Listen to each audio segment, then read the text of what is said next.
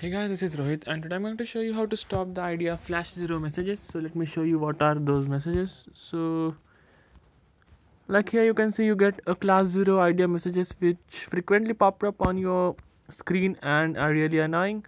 So what you do do need to do is uh, when you get a message, just click on save, and when you hit the save, uh, just go on to the messages and where you will find iz idea or anything similar. So it says that i have saved it one minute uh, ago. So now just do uh, hit the three dots go to people and options.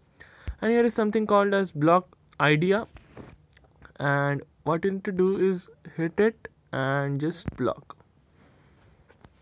So now uh, it is block and you are free to navigate your phone as you wish. And you won't get any class 10 messages from idea anymore. So thank you for watching the video guys. Uh, please do subscribe to our channel. Hit the like button if you like the video. Thank you